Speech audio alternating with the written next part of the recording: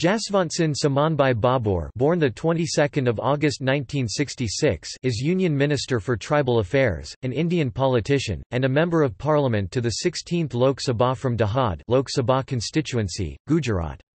He won the Indian general election 2014 being a Bharatiya Janata Party candidate. He is resident of Bariya Faliyu at Dasa in Limkheda Taluka of Dahod district. He is a farmer and social worker by profession.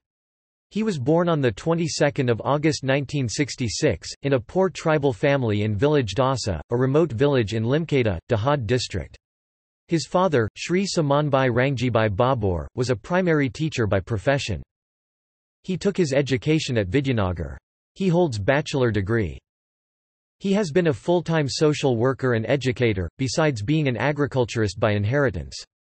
He has established no of educational institutes in and around his native village. His educational institutes provides education right from primary level to college including PTC and BEd colleges, catering to the long-felt need of the area. He has also established boys and girls hostel, ashram shala for the poor students coming from far-off villages for their educational needs. He was active in politics since his young age, as his father was also associated with Jansangh in erstwhile Panchmahal district. He was first elected to the 9th Gujarat Legislative Assembly in 1995–97.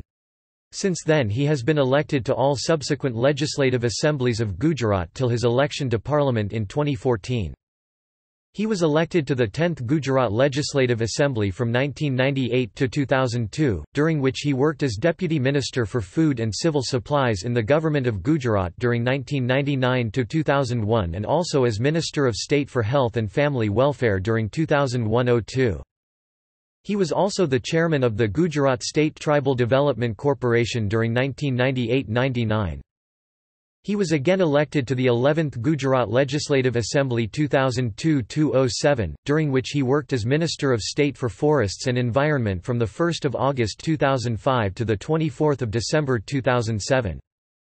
He was also elected to the 12th Gujarat Legislative Assembly 2002–2007, during which he worked as Minister of State for Tribal Development, Rural Development, Labour and Employment from 2007 to 2010 and also as Minister of State for Tribal Development, Panchayat and Rural Housing from 2010 till his election in the parliamentary elections of 2014. He has also performed as Guardian Minister for Sabarkantha and Dang districts during 2007 to 2010, and also as Guardian Minister for Narmada district from 2010 till his election in the parliamentary elections of 2014.